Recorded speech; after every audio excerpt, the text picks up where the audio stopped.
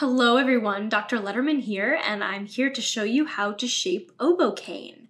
So let's get started. So in front of me, I have an array of things. I've got my soaking oboe cane, which has been in here for about 15 minutes. I've got my 600 grit sandpaper. I've got my brand new razor blade, my Rigotti folding knife, and the main event, which is this right here. This is my shaper handle and my shaper tip.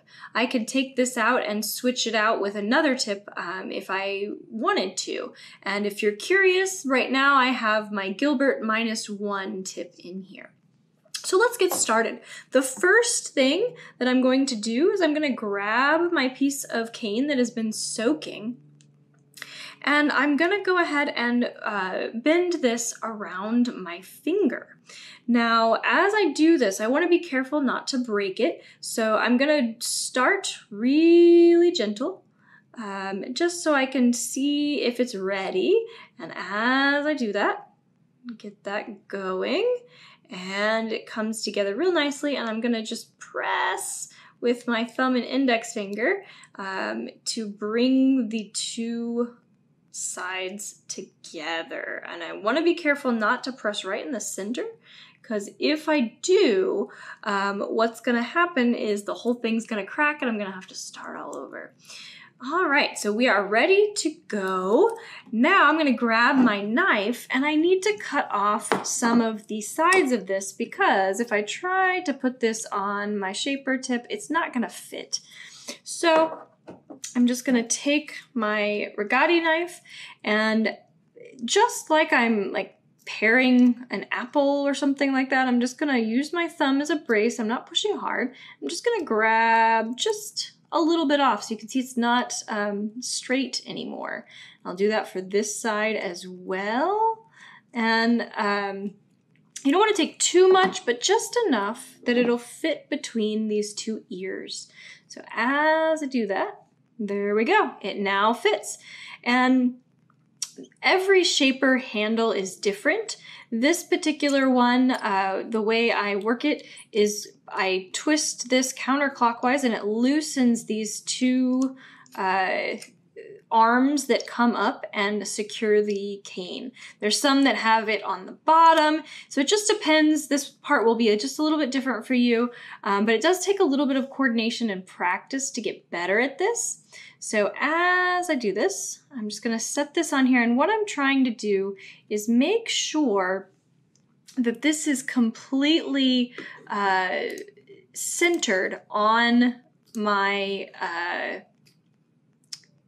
tool. So once I get this centered, I'm gonna bring the top part on and I'm gonna check here and make sure that it's centered. And it looks like it is. So now I'm gonna hold it and bring the top or these arms up to the top.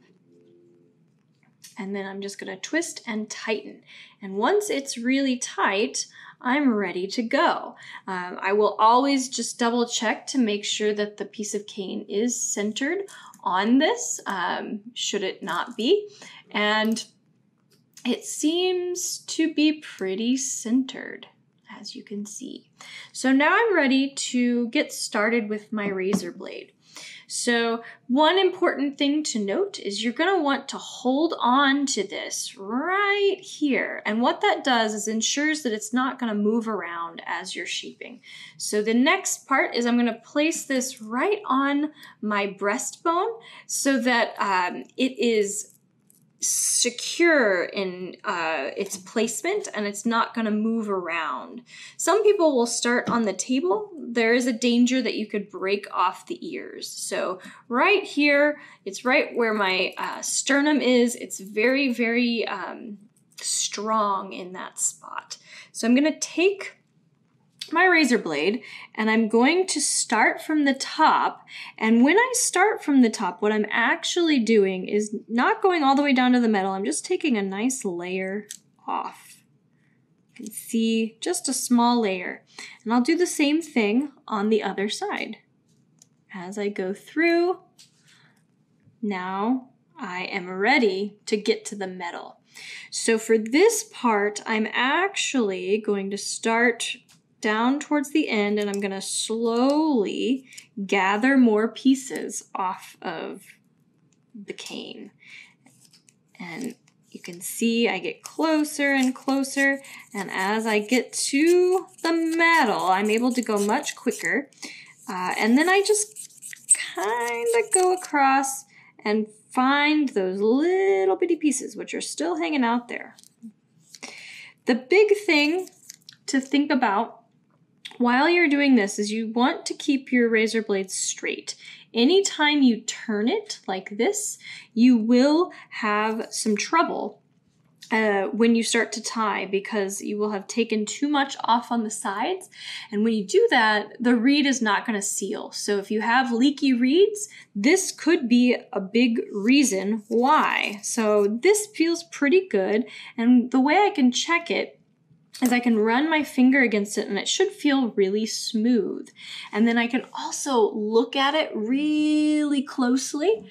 And as I do that, I'll notice that I don't see any um, of the cane going over onto the um, metal itself. So I'm going to turn this over and I'm going to get to the other side. Again, I'm starting at the very bottom, moving forward as I get little pieces off.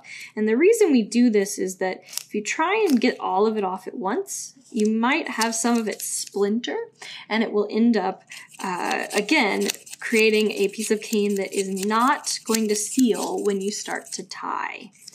And at that point, it seems pretty smooth. It sounds pretty smooth.